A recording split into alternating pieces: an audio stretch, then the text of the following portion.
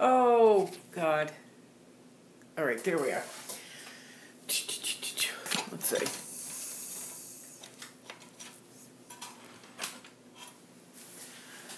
Alrighty, so you have to excuse me. I just did this video, and uh, my iPad and my iCloud lost it. So we're going to try again. Sorry for the excuses and the apologies. It just seems to be a continual issue. Let me see about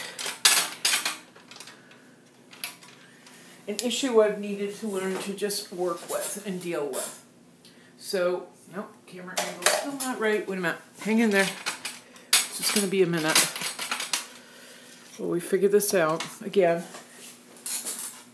There, that's a little bit better. Okay.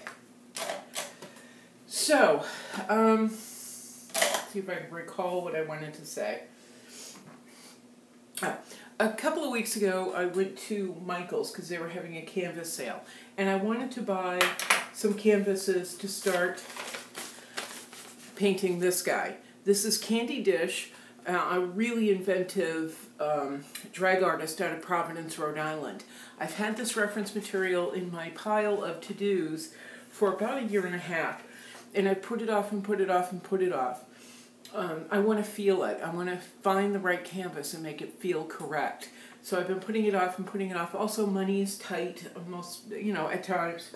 So um, I just haven't done it yet, and I believe there's a reason for it. I went to, uh, which is going to extend to the rest of the video. I went to Michael's to pick up two 5 by 4 canvases because I want to do uh, Candy Dish at 8 feet high, 5 feet wide, two separate videos, uh, two separate canvases rather, top and bottom, um, being on two, two separate canvases. Um, I just find it more interesting painting on multiple canvases as opposed to one. I just, I don't find that very interesting at all anymore.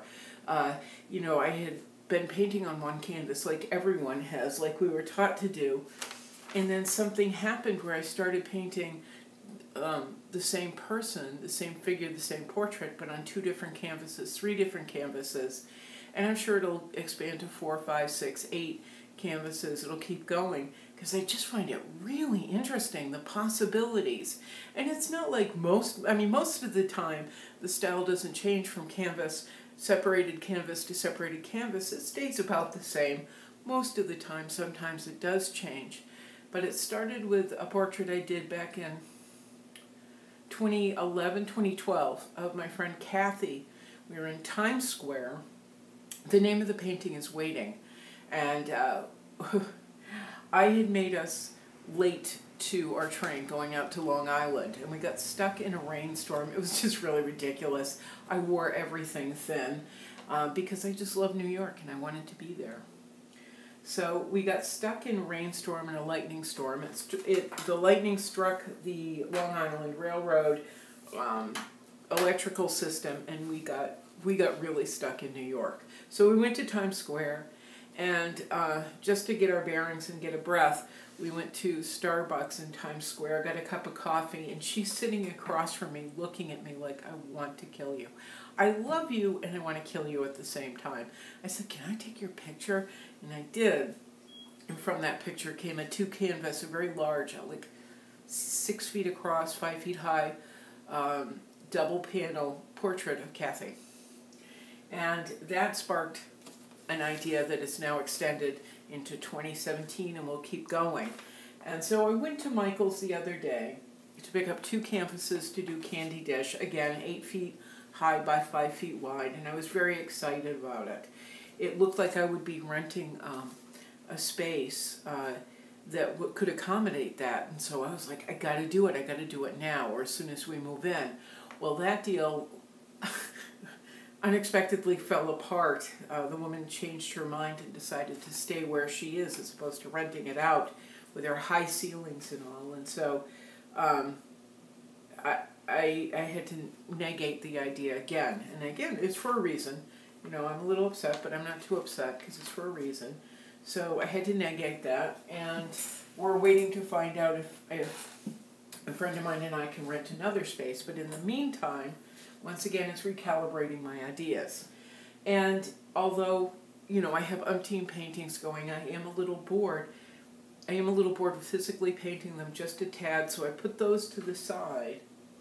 And but I continue to paint in my head. I continue to paint Candy Dish in my head.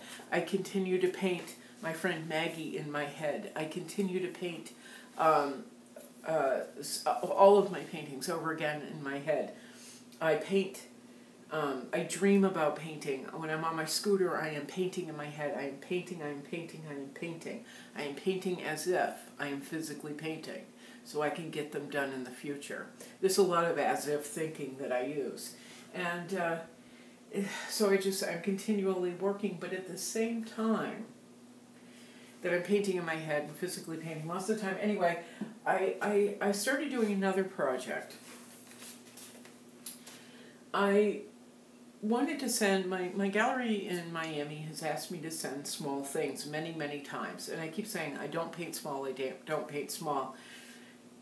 Even though the day I was going to buy Candy Dishes canvas, uh, I went and bought two small paint two two small canvases, thinking I don't paint small, you know, blah blah blah, and I ended up doing paint two two smaller paintings on them. A girl sitting in a little um, airplane toy on a sidewalk, and then these two girls, uh, um, two girls together, but uh, their arms around each other. These two young girls, uh, both painted in blues and teals, which was kind of fun and interesting. So I went from I don't to oh look I do, uh, taking other, sorry convoluted, other reference material that I had taken and painted to the side and painted in my head over and over again I put them to the side for probably three, four years. They've been hanging around on bulletin boards like Candy Dish. And I just executed them. I had already painted them, so it only took me four or five hours to do to go from, you know, I don't to oh yes I do. I've already done the work in my head. In my many walks and in my sleep, I've already painted this, so I did. Anywho, um, I have two more canvases, small canvases ready to go for reference material I've been holding. But in the meantime, I, I started developing smaller work for, for Blu Egg for my friend Jay Louise. I pulled out some old silkscreen illustrations I had done several years ago in, in Providence, Rhode Island. I was getting ready for two solo shows in New York, and I had built, I had done something like two dozen silkscreen illustrations specifically for the show. But there were a lot of things that didn't really work. Like this didn't really work at the time. Well, I pulled out this and several other ones that didn't work, and I've been retooling them. I've held on to them, and I'm thinking this is ridiculous, but hold on to them anyway. And I've been holding on to them for this particular moment. All these black and whites. Because, like my painting, over the past few weeks, in this evolution in my head, I've oh, I had why did I add? Never mind. Anyway, in this evolution in my, I added something I wasn't supposed to. Excuse me. Um, in this evolution in my head, I've been transforming these. Well, that's going to be an issue. I've been transforming these into uh, color illustrations or color color works, but with multiple layers. I've been trying to figure this out since 2012. How do I add, oh, that doesn't even go there. Um, how do I add, how do I make these interesting? So I pulled these out about three weeks ago. Why do I have dots all over the place? Pulled these out three weeks ago and started playing with them. First is just the silkscreen illustration adding aerosols to the background. As you can see, aerosols to the background. Some pencil work, some more um, pen work, pen and ink work, and then more aerosols in this particular one, in this particular one, and in this particular one. Oops, and in this particular one. I'm taking this to this as a small side project. But I'm also realizing it doesn't still it still doesn't carry quite the depth that I want. So I'm going to pull them out of the frames and start drawing directly once again on the um, on the acetate or I'm sorry on the transparency film and I'll show you what the transparency film is when I was doing silkscreen illustrations, uh, one of the one of the first steps to doing silkscreening is taking an image and projecting it onto an emulsion. And you know, you can do it with black and white photographs, you can do it with black and white images. But what I did was I drew directly on transparency film. Uh,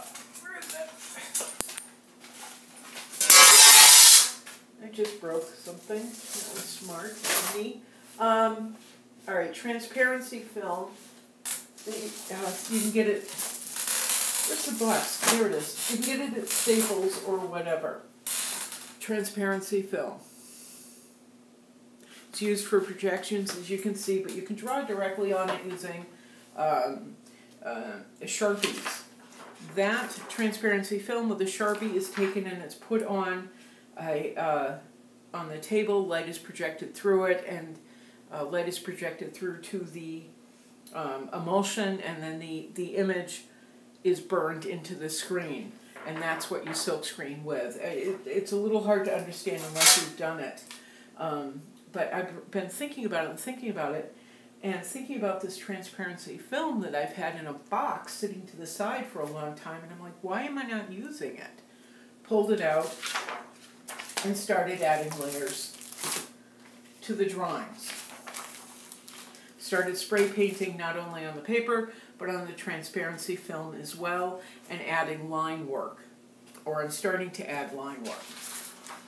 Now this is also let me see, I've done it with that one, but let me show you something else. I've also just started uh, tracing uh, my friend Maggie. This is my first try at this. Tracing my friend Maggie, who I'm doing a large painting of, because I want to do a multicolored um, experiment or drawing of her uh, to frame and sell to, send to Blu Egg.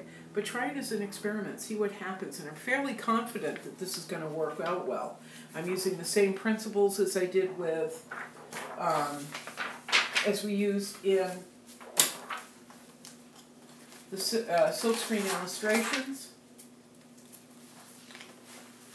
adding lines that will then, you know, uh, project the image to the viewer, but adding, excuse me, eventually adding uh, aerosols. So it becomes more and more and more interesting and has more depth. Because I really love this image of, of Maggie um, and I don't want to just keep her to the one painting. I want to use her over and over again. I actually want to use her as a model for several pieces.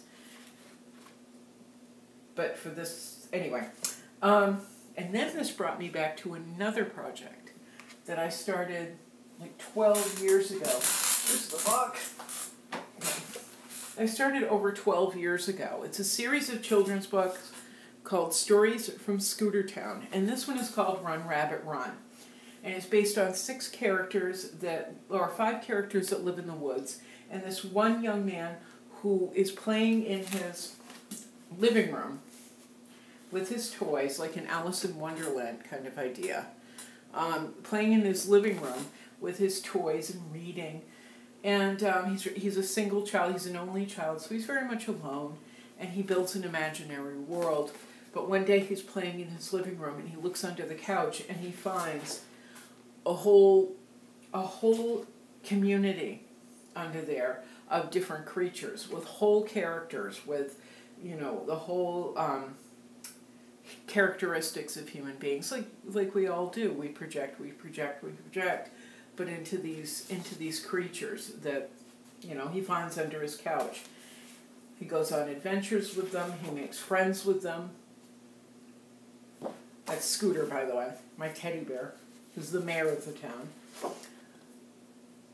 There's Joel and um, Jack building a building a wood and paper boat together. So they, they have relationships, they have interactions, and we have conflict and we have resolution in this in this um, town called Scooter Town.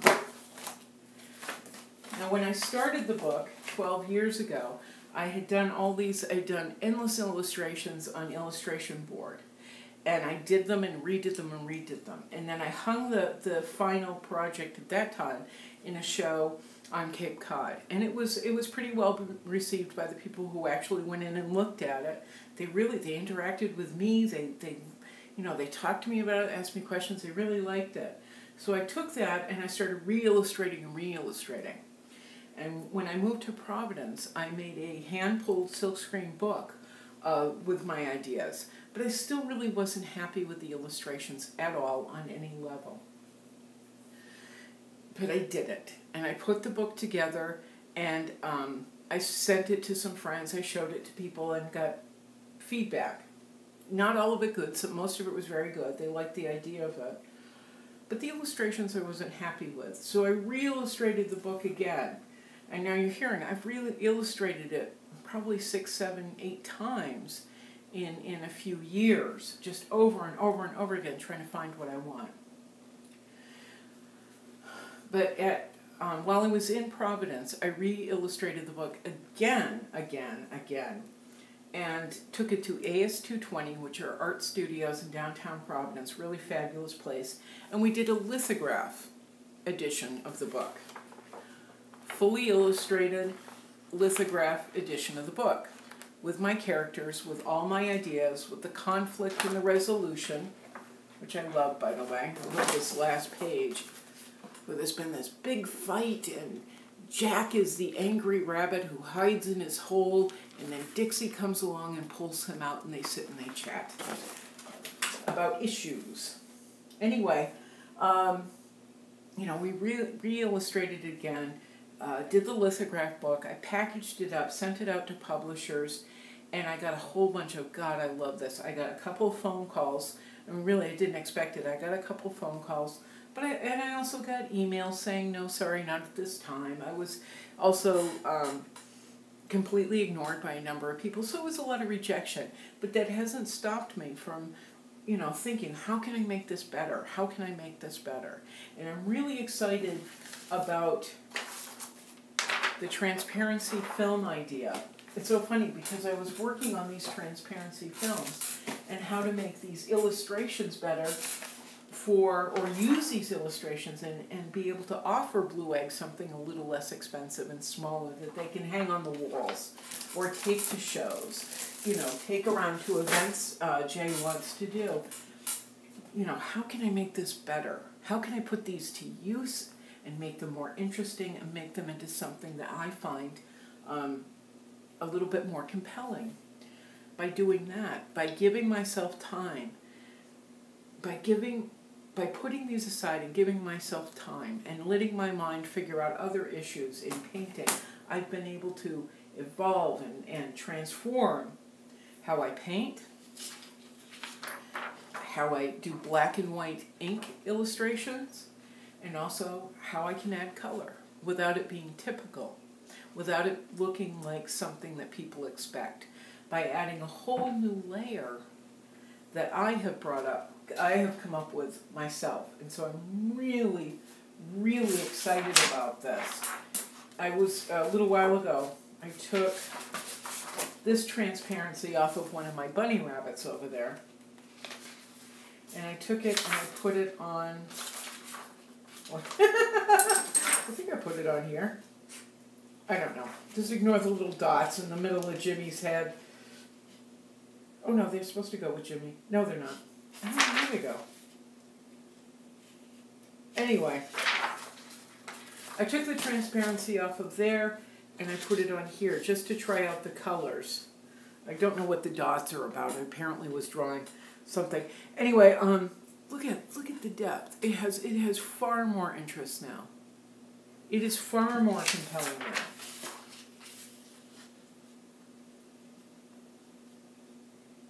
So I'm able to play with this in a whole new direction. So in the beginning, I was upset when I showed on Cape Cod. I was a little disappointed, let's say, that people didn't want to pick it up then.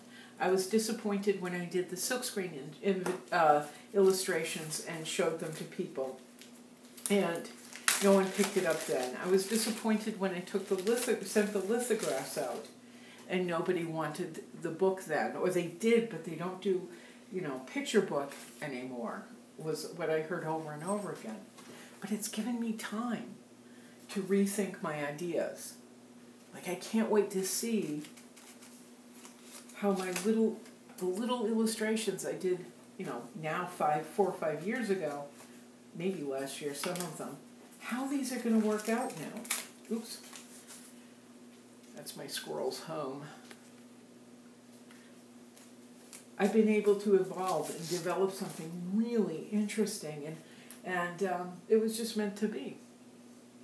As with my painting, as with Candy Dish, not being able to do Candy Dish immediately means there's something better coming. So I paint as if in my head. I act as if with these and re-illustrate and re-illustrate and re-illustrate for the future artist I will be, for the for the books that they will be in. And I try not to give up hope. And I guess that's been the point of many of the videos is trying not to give up hope. While we illustrate and re-illustrate, paint and repaint, paint in my head over and over again. I guess that's been the point of most of these videos, even the ones where I'm crying, um, is that we just keep working towards the future that we want. And we do this together. So I'm going to get back to work.